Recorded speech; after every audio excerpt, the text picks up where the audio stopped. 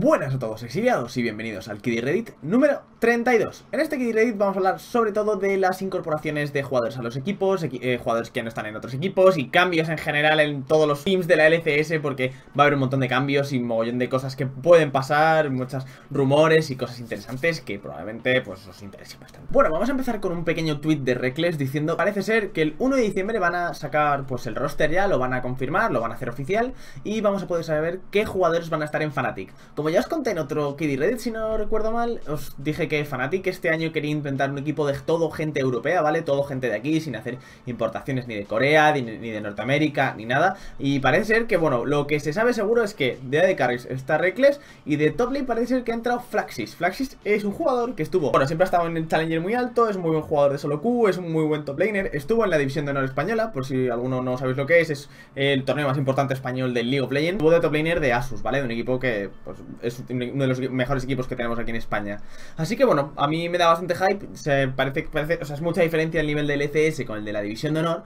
Pero aún así yo creo que tiene el nivel y que en cuanto pille un coach bueno, probablemente pues se podrá ver todo su potencial en equipo. Vale, esto va con un poco tema de NA, ¿vale? No sé si sabéis que en NA había un equipo que se llamaba Immortals, que era uno de los mejores equipos que hubo en la, LCS este año de allí. Y se deshicieron enteros, se deshicieron enteros porque nadie sabe por qué, porque a veces los equipos, pues no sé, se deshacen. ¿Qué se le va a hacer? Y ya se han repartido un poco los jugadores. Y aquí os leo lo que parece ser que va a coger EcoFo. De top laner va a coger a Looper. Looper, si no recuerdo mal, ha ido a muchos mundiales. De hecho, si no me equivoco, creo que ganó un mundial. No estoy muy seguro ahora, pero creo que ganó un mundial. De jungla Santorin, de midlaner Frogen, por supuesto. De support Pobelter y de, de ADC Keith, que es otro AD de allí de NEA. A mí lo de Pobelter de support, la verdad es que no lo he visto. Pero vamos a ver qué, qué pasa, ¿no? Vamos a ver si es verdad. A mí me llama un poco la atención esto de Pobelter de support, ya que Pobelter siempre ha sido uno de los mejores midlaners que en NA. Es buenísimo.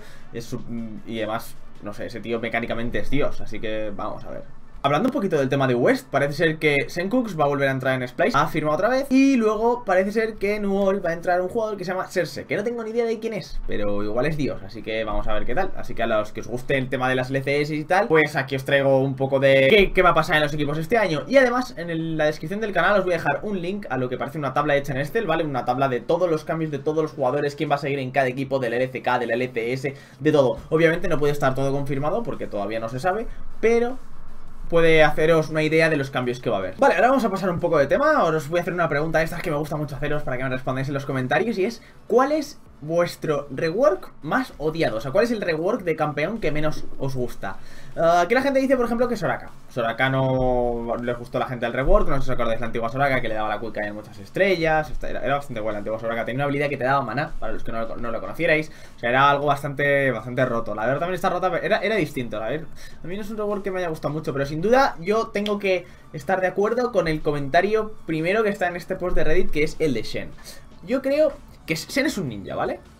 Y como buen ninja debería ser un asesino, no un tanque. O sea, para mí Shen no tiene, no tiene ningún sentido. No entiendo por qué Shen es un tanque. O sea, es un campeón que es un ninja, pero tanquea. ¿Por qué? O sea, ¿no sería más lógico que Shen fuera un asesino? O algo así, en plan que se moviera mucho, rollo Talon, rollo Zed, no, es su rollo, ¿no? Son ninjas. ¿Alguna vez habéis visto un ninja llevarse hostias? No, los ninjas las esquivan todas. Yo quiero que me dejéis aquí en los comentarios cuál es el rework que menos os ha gustado. Yo creo que el que más me ha gustado, ya que estoy aquí para decirlo, probablemente sea el de el de Sion, más que nada porque era un cáncer jugar contra el Sion antiguo, contra el Sion AP antiguo aquel. Dios, qué horror era aquello. Yo lo jugaba a D-Top y era una locura. Pero el de Sion probablemente sea de los que más me gusta. La verdad es que ahora no me vienen a la cabeza muchos más rework. el de Fiora estaba muy guapo. El de Fiora también está muy guapo. El problema es que el antiguo Fiora molaba muchísimo y yo la jugaba mogollón. Pero estaban bastante bien. La verdad es que normalmente Riot hace bastante buenas cosas con los rewards, quitando a Rice, ¿vale? Que ya han reworkado como tres veces. O sea, ese campeón no, no, saben balancearlo, no saben. Al final lo van a acabar borrando, porque es que no saben qué hacer con él. Pero bueno, yo creo que eso, Fiora y Sion son mis favoritos probablemente Dejadme en los comentarios, ¿vale? ¿Cuál es vuestro rework favorito y cuál es el que más odiáis? Y los leeré todos Vale, ahora os voy a hacer otra pregunta de esas que pues me gusta mucho haceros, como ya sabéis Y es una pregunta que me van a responder principalmente la gente que lleve jugando muchas temporadas al LoL, ¿vale? Porque los que llevéis jugando una o dos no lo vais a notar Y es ¿creéis que el jugador medio de League of Legends, o sea, lo que sería un plata o un oro, ha mejorado el nivel? O sea, que ahora plata y oro tienen más nivel que hace tres años. La gente dice que, claro, que es lógico que cuando pasan los años, pues es lógico que la gente mejore y como, y como que mejoran todos a la vez, entonces no se mueven de esa división, ¿sabes? Siempre están en oro o en, o en plata. Pero en general van mejorando. ¿Vosotros creéis que esto es cierto? ¿O creéis que todo sigue al mismo nivel que la Season 3 y la Season 4? Y es que la verdad no me acuerdo, no me acuerdo cómo era la Season 3 ni la Season 4. A ver, recuerdo que Diamante 1 era dificilísimo, porque como antes no existía el Master, pues Diamante 1 había, estaban jugadores LCS y todo, o sea, que yo era, fu, Diamante, llegabas a Diamante 1 y eras Dios, o sea, eras la hostia. Y eso, la verdad es que me, me llamaba bastante la, la atención. ¿Creéis que la gente Ahora mismo, otra pregunta que os quiero hacer es, ¿creéis que la gente es más casual o más hardcore player? Con esto me, me, refiero a... Casual es como que juega un par de partidas al día, que se lo toma un poco más como un hobby, y hardcore es como que quiere ganar, subir de elo, mejorar y ser un muy buen jugador de LoL. Yo creo que, que, la gente es mucho más hardcore. O sea, yo me acuerdo en el WoW, ¿vale? Cuando jugaba, la gente fue pasando de ser hardcore y cada vez iba evolucionando el juego, la gente se cansaba, se convertía en un jugador más un, jugador más casual, un jugador que entraba, pues eso, a farmear, a raidear, a lo que tuviera que hacer en el WoW. Y poco a poco, pues esto, y la gente lo iba dejando. En el LoL, sin embargo, yo creo que a medida que va jugando la gente, se hace más hardcore y juegan más partidas, más partidas, más partidas, intentan mejorar. O sea, aquí no hay. O sea, yo creo que en el LoL hay muy poco, muy. A ver, muy poco, ¿vale? Hay un pequeño porcentaje de jugadores que sea casual. De esto me refiero a, pues eso, que estén un par de partidas al día y las jueguen por diversión. O sea, yo creo que en, el LoL la gente juega mucho más a ganar. Dejadme vuestros comentarios sobre esto en los comentarios del vídeo y los leeré. Vale, ahora volviendo un poco al tema de los equipos, parece ser que, bueno, esto es mucho más llamativo que todo lo, contado, lo que os he contado antes, ya que ha sido un gran equipo, a todos nos ha gustado mucho. Y el equipo del que, del que os voy a hablar es Rocks, Rocks Tigers seguro que os acordáis de Smeb, que el mejor top laner del mundo, del jungla, que Spinut, que es el jugador ese que creó tanto hype en la gente porque era muy, como muy mono, como muy, muy cute. Pues parece ser que se han, ido del equipo. Se ha ido Pry, que es la de carry, Gorilla, que es el support, y se va Smeb. ¿Vale? Que es el top laner. Así que de momento quedarían el mid laner y quedaría el jungla. Yo, la verdad es que no sé por qué se van. O sea, fue un buen equipo. No llegó, no llegó a ganar los mundiales, pero era un gran equipo. O sea, no les ganaron por poco. Yo creo que la cagaron. Parece ser, por lo que leo aquí, ¿vale? Que ha sido un tema de problema de dinero del equipo. O sea, que probablemente el equipo haya dicho, ya no queda pasta para el equipo de LOL, así que todos fuera y ala, ya o, no hay equipo de LOL ya, o cogerán a gente peor, que cobre menos, aunque no ganen, pero por lo menos estén ahí y al final con los sponsors y esas cosas pues ganan dinero. Pero parece ser que ha sido, pues eso, problemas de dinero del equipo. Yo no sé, la verdad es que me da un poco de penilla porque era un, era un equipo que me molaba bastante. Yo que tengo un poco de hate, ya sabéis, a, los equipos coreanos porque me aburre que siempre ganen ellos y tal, pero este equipo me gustaba, me, me transmitía buen rollo, ¿sabes? No, o sea, los veía como más una familia más que SKT, que parece que van ahí a, pues eso, a trabajar, ganan y se piran, ¿sabes? Y luego ni hablan fuera. Vale, parece ser que con esto la gente está súper cabreada, y es que han activado el autofill en todas las colas. Con el autofill, para el que no lo sepa, es un simbolito que te aparece abajo cuando metes cola, cuando pones top, mid, tal, o jungla, lo que sea.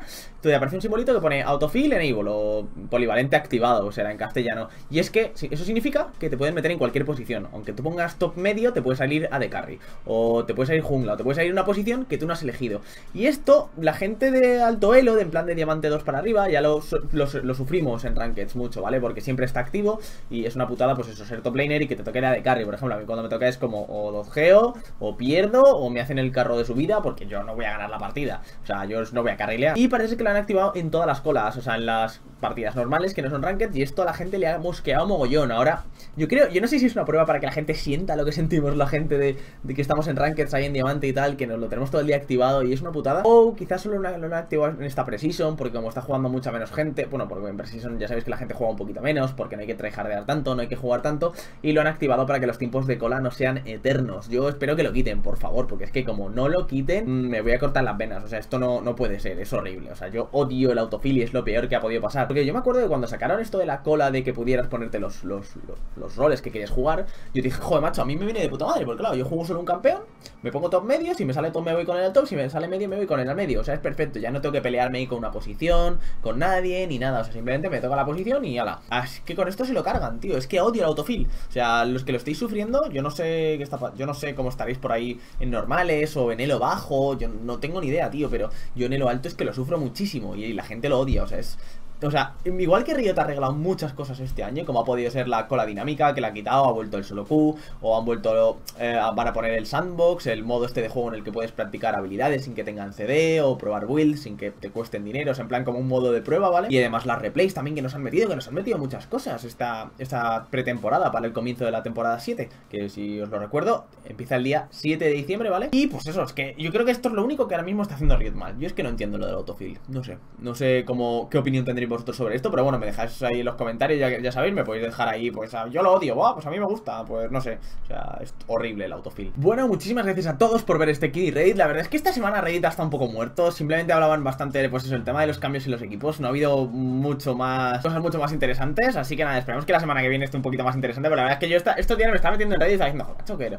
que, pocas, que pocas cosas interesantes hay, ¿no? Últimamente está todo muy spameado de, de cosas de streamers, en plan de, oh, Dairus mata a este en uno para uno, y no tiene ninguna gracia, porque yo también mato a mucha gente en uno para uno, y vosotros seguro que también, y no llega aquí al foro principal, bueno, foro pues no es el oficial del LoL, pero es al final el, centro de toda la información de League of Legends que hay en internet, entonces, pues eso, la verdad es que esta semana está un poco así flojillo, pero bueno, espero que lo hayáis disfrutado, acordaros de darle like si os ha gustado el vídeo, de suscribiros al canal, muchísimas gracias a todos, y nada, nos vemos en el siguiente vídeo.